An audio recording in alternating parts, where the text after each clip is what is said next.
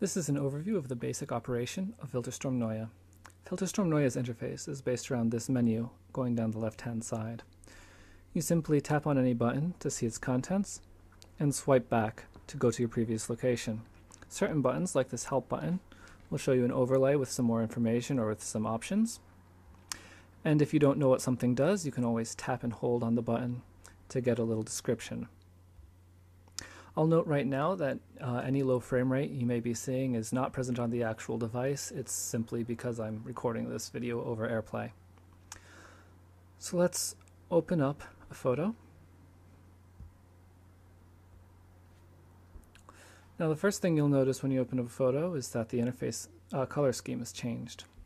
Filterstorm looks at uh, the colors of the image and chooses a scheme to match. If you don't like this, you can go to settings over here and see this option for black and white interface, just turn that on.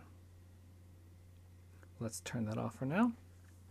Um, at any point while you're editing, you can use two fingers to uh, zoom and pan as you would in uh, any iOS app. And at certain times when you don't have uh, a filter that you're applying, you can also use one finger to move it around. Let's go into the edit menu here. And I'm going to start by choosing saturation. And now you saw that there was a little overlay there that shows you which direction to swipe to change. So swipe up to saturate, down to desaturate. You can turn those overlays off uh, in the settings. So when you're done, you can use this check button to apply your change, this X button to cancel your change, or you can swipe back to uh, also cancel a change. There's also these two buttons here. This is blend modes, and this one is masking. I'm not going to be going into those buttons in this video, but there should be another video uh, that goes over masking operations. So let me swipe back to cancel that and go over here to brightness contrast.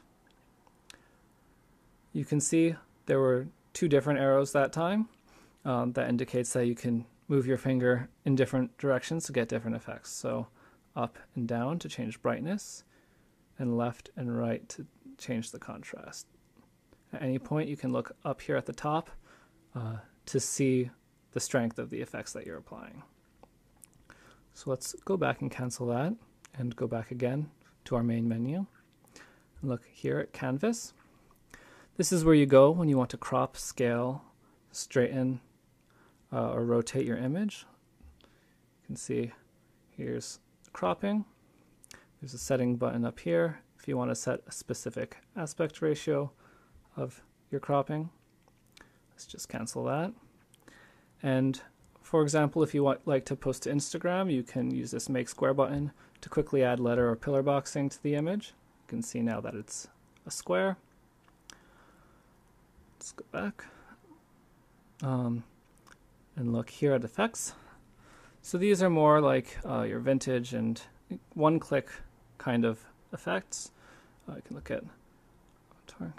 Um, these can also be uh, adjusted strength by swiping up and swiping down. Let's just apply that using the check. Um, and when we're done, we can use this export button to save our image. I'll note that the image I was just editing is about 9 megapixels, so that's the approximate speed you can uh, expect on uh, an iPhone 5 editing uh, uh, image from that camera, for example. And you can save your image here.